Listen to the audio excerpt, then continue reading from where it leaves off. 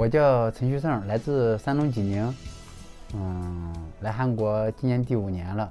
疫情之前吧，学一学韩语，嗯，偶尔的弹一下吉他，然后经常会和菲律宾、越南的一些是外国朋友打打打打篮球、乒乓球。那现在因为疫情，只能在宿舍里，嗯，写写字，嗯，然后背背单词啥的。由于新冠肺炎疫情的影响，今年春节，陈旭胜继续选择在韩国过年。第二次，想家吗？肯定想家呀。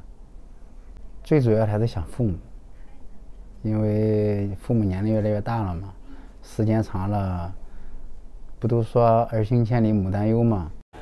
好在这个春节，陈旭胜也并非孤身一人，大批在韩工作的中国工友都选择了就地过年。老乡们的聚会，为异乡的春节增添了一丝年味儿。春节也就我们几个，还有我们三个河南的嘛，我们就自己包包饺子，做个饭，买点酒喝一下，就这样过过一下就可以了。年货我们这边就买些我们过年要吃的东西，商户祝韩办发的有春联，哎，把贴回去的把贴贴在门上，这也喜庆喜庆。就是几个人吧，在一块儿凑在一起做做个饭，吃个年夜饭，啊，本来本来春本来春节也是团圆的时候，在这边都没能和家人团聚，最后这几个工友在一起也也算一个团圆年。在这个特殊的春节，期盼疫情消退，尽早与家人团聚，是他们共同的心愿。是希望疫情早点结束，啊，回家团圆。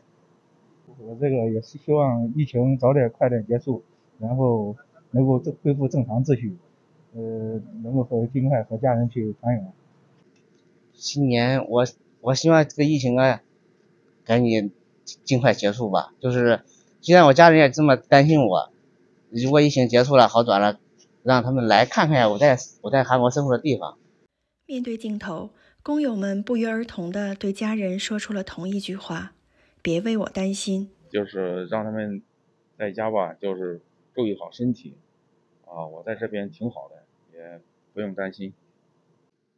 希望家里人都过得开开心心的过年，不要不要对我什么担心的，我在这挺好的。让父母别为我担心，我在这里一切都平安。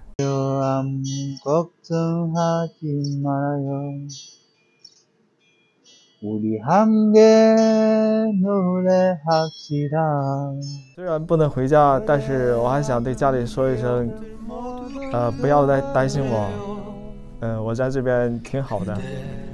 然后对家里人说一句，就是你不要太担心我，然后我们在这挺好的。来这韩国三年一直没回去，嗯，也挺想孩子们的。